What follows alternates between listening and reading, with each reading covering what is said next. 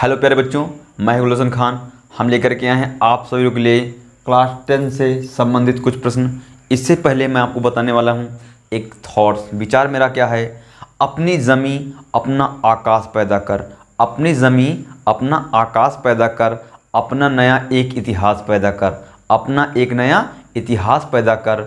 मांगने से ज़िंदगी कब मिलती है अय मेरे दोस्त? मांगने से ज़िंदगी कब मिलती है अय मेरे दोस्त?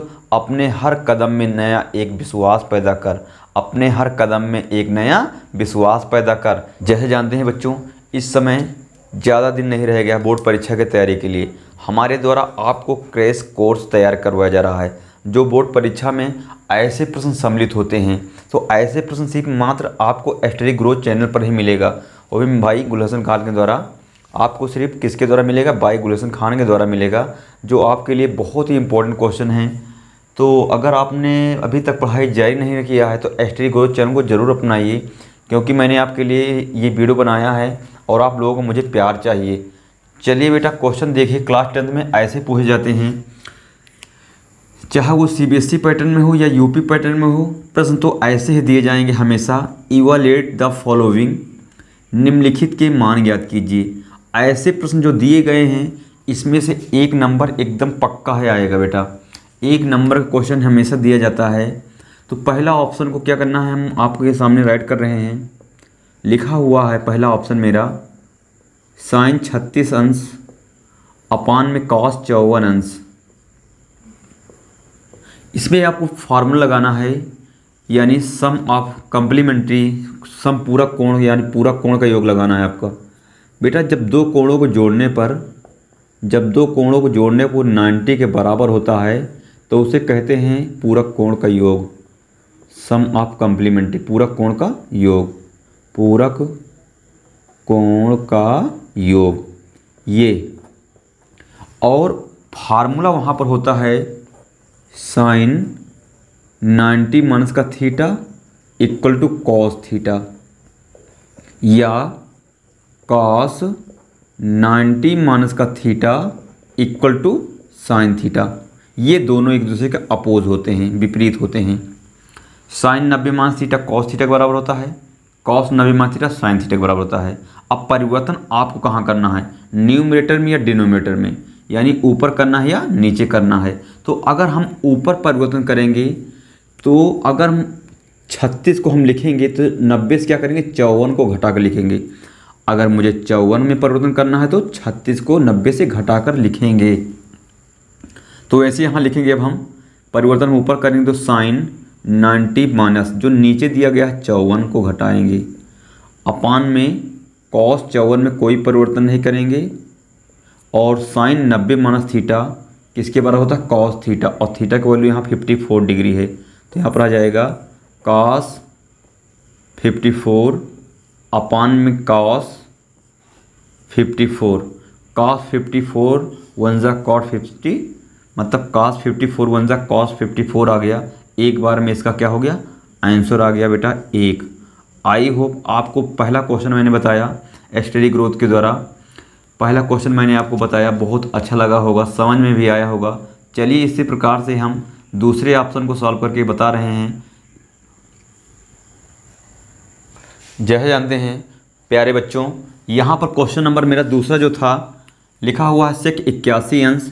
अपान में कौशिक नौ अंश ये दिया गया है। इंग्लिश में sec eighty one degree, upon में कौशिक नाइन डिग्री। इक्यासी और नाइन को अगर हम ऐड करेंगे तो आ जाएगा नाइन्टी तो इसमें अगर हम ऊपर परिवर्तन करेंगे तो नाइन्टी से क्या करेंगे हम? नाइन को सेपरेट करके लिखेंगे। तो फार्मूला यहाँ पर फिर इसका होता है शेक नब्बे अमानस का theta equal to cosec theta होता है।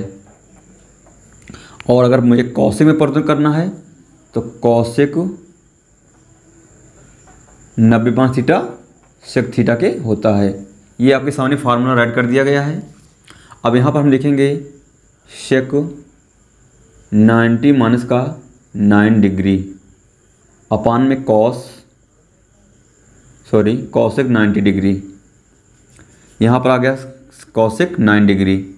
सेक नब्बे माइनस थीटा किसके बराबर होता है?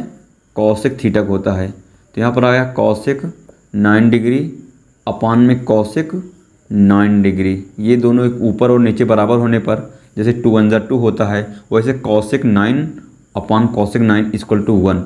इसका भी क्या हुआ? आंसर हो गया। आई होप आपको जो दूसरा ऑप्शन दिया गया है, इसको आप ऑलरेडी कर लेंगे। यहाँ पर आपको क्या करना है? लिखना है टेन नब्बे माइनस, सॉरी, आपको यहाँ लिखना है कॉट नब्बे माइनस बहत्तर और अपान में टेन बहत्तर अंश। और कॉट नब्बे माइनस थीटा टेन थीटा होता है टेन टेन क्या होगा? कैंसिल हो जाएगा। इसको आपके लिए होमवर्क में डाला जा रहा है। कमेंट में बताना बेटा इसका आंसर कितना आएगा। चलिए, अगला क्वेश्चन क्या कर रहा है मेरा? यह जानते बच्चों, मेरे सामने बहुत ही प्यारा क्वेश्चन दिया गया है। आपकी जो है क्वेश्चन नंबर जो दूसरा दिया गया है मेरा टू प्रूव करना है, सिद्ध करना है। साइन थीटा अपॉन कॉस नब्बे मान थीटा प्लस सेक नब्बे मान theta upon cosec theta equal to two के लाना है। दूसरा ऑप्शन है कॉट चालीस अंश अपॉन टेन पचास अंश माइनस कॉस पैंतीस अंश अपॉन टू साइन पचपन अंश बराबर में वन बाई टू के लाना है। आपने क्वेश्चन को पढ़ लिया। चलिए बेटा, पहला जो ऑप्शन दिया गया है, इसको हमें क्या करना है? राइट कर लेना है एल एच एस में। एल एच एस तो यहाँ पर हमें लिखना है साइन थीटा अपान में आ जाएगा। कॉस नब्बे माइनस का थीटा। चिन्ह प्लस का है, लिखना है सेक नब्बे माइनस थीटा अपान में कौशिक थीटा। ये राइट कर लेना है। आप जैसे जानते बेटा, यहाँ साइन थीटा में कोई परिवर्तन है क्योंकि कोई एंगल नहीं है। लेकिन यहाँ पर साइन ये जो फार्मूला होता है कास नब्बे मान थीटा, इससे पहले हम बता चुके हैं इससे पहले हम बता चुके हैं कास नब्बे मान थीटा जो होता है वो साइन थीटा के होता है प्लस सिक नब्बे मान थीटा जो होता है कौशिक थीटा के होता है। कौशिक थीटा अपान में कौशिक थीटा इसको डिवाइड करने पे इसकी वैल्यू वन हो जाएगी, इसकी वन वन हो जाएगी, और यहाँ पर प्लस का चिन्ह है तो वन और वन मिल करके कितना हो जाएगा? टू आ जाएगा। ये इसका आंसर आ गया R H S I hope आपको बहुत अच्छे तरीके से समझ में आया होगा। चलिए बच्चों, उसी प्रकार से मेरा दूसरा ऑप्शन क्या कह रहा है? दूसरा ऑप्शन मेरा कह रहा है कि मेरा दूसरा ऑप्शन दिया गया है कार्ड चालीस अंश अपान टेन पचास अंश माइनस कास पैंतीस अंश अपान टू साइन पचपन अंश जो इक्वल है वो वन बाई टू के है। इसमें भी मुझे आर एच एस में राइड कर लेना है। आर एच एस में दिया गया है काट चालीस अंश अपान टेन पचास अंश, माइनस का, कास पैंतीस अंश, अपान में टू, साइन पचपन अंश, ये दिया गया है। अब परिवर्तन मुझे ऊपर करना है या नीचे करना है तो ऊपर हम परिवर्तन कर रहे हैं, लेकिन काट नाइन्टी माइनस का पचास अगर घटा दियो, चालीस के बराबर है, यानी मुझे पूरा कोड़म तोड़ लेना है। तो यहाँ फार्मूला गया काट नब्बे माइनस थीटा।